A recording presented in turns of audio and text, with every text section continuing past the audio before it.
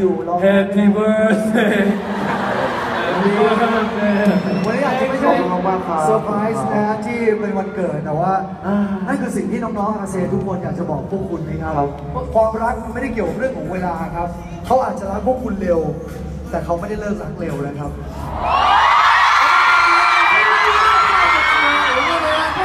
오늘은팬분들이얼마나많이사랑하는지말씀드리고싶었대요